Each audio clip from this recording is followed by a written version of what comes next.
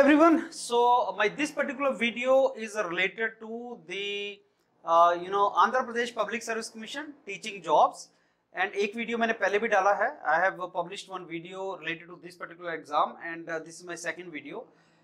This video is related to the marks which will be provided uh, to you by you know, selection committee on the basis of your academic credentials what percentage you got in graduation, what percentage you got in masters and have you done PhD or not. On the basis of that, some additional marks will be given. Now, uh, let me before that, let me tell you something here. Andhra Pradesh Public Service Commission recently announced 3,222 seats of teaching assistant professor related to, you know, engineering, science, uh, even librarian and so many other profiles. There are 18 universities in Andhra Pradesh which are going to recruit now teachers uh, and 20th November is the last date to fill the form. So form filling ka detailed video Chandra sir is going to make and that is going to come. So those of you who are interested can fill it up. The good thing is like uh, criteria required is masters and marks required in masters are very less, not high. Like BTech mein even if you have scored BTech mein 50%, 45% you are eligible. In the masters if you, if you have scored 55% plus you are eligible there will be 30 additional marks given to you if you have done PhD. Now, first stage is screening, that is a writing, you know, MCQs. there is a screening stage in which there will be only technical questions, no non-technical question, only technical question, and this is a well-established syllabus. So, 12 times students will go to the next two stages. Next two stages are pedagogy and research aptitude and interview. Pedagogy and research aptitude is nothing but a teaching skill test. The way we mentor you on the YourPedia how to you know go for teaching skill test on the board. Usko teaching skill test bolte hain, jisko उन्होंने pedagogy test bola hai. and another is research aptitude have you done your btech project mtech project what was done in that any paper you have published internship you have done so internship btech project research paper that is a research aptitude or they may check your research aptitude by giving you small questions there then interview stage is there in which technical knowledge of your subject is required and HR questions will be required. Before that is a screening. So 12 times students will be called for screening and that is more than 35,000 students will qualify for next stage that is pedagogy and uh, your uh, you know this interview stage. Now this video is uh, telling you something very important. If your BTech percentage is more than 80%, you are going to get 15 marks if your BTech percentage is 60% to 80%, you are going to get 13 marks. If your BTech percentage is between 55% to 60%, you are going to get 10 marks. But if your BTech percentage is 45% to 55%, you are going to get 5 marks. So the student in BTech who has got 55%, he is going to get 5 marks and the student who has got 80% is going to get 15 marks. That is what they have given. In MTech also, if 80% plus 25 marks, 60 to 80% 23 marks, 55 to 60% is 20 marks.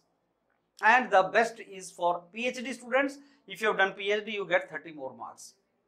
Now, you know, entire India, there are so many of you who want a government job, really good government job.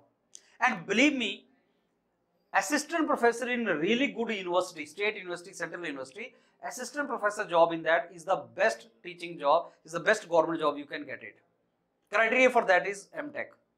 I am now presently Yourpedia as you know is the largest platform mentoring students for interview guidance and all, especially teaching.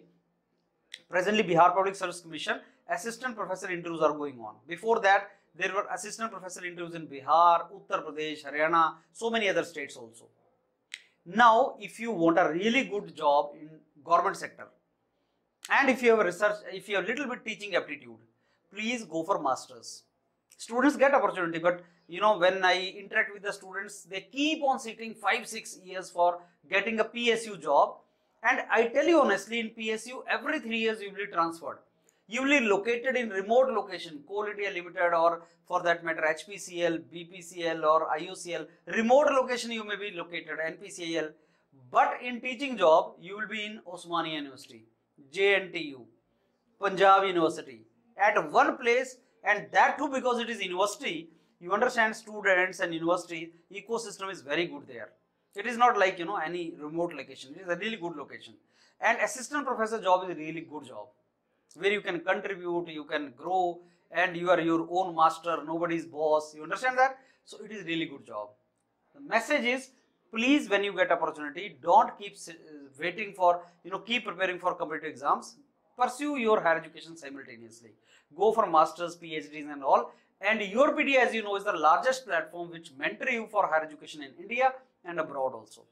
This is if you want to join state government jobs state universities. But if you want to get foreign uh, you know iits and nits if you want to get jobs in iits and nits and very reputed universities get at least one degree from foreign don't do phd from India, do PhD from abroad. And the moment you have PhD from abroad, these these universities are going to value a lot. IITs look for foreign university, you know, PhDs. They don't want uh, PhDs from India. IIT Bombay, when they are shortlisting candidates for, you know, teaching job, they want a, a PhD from abroad. That is how it goes.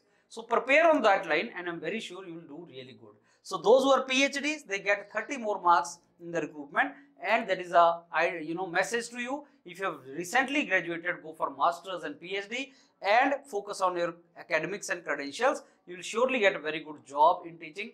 Thousands of jobs are coming and are going to come soon in teaching because we are getting more universities lot of retirement and seats are going to be vacant right? All the very best. Prepare well for this. Thank you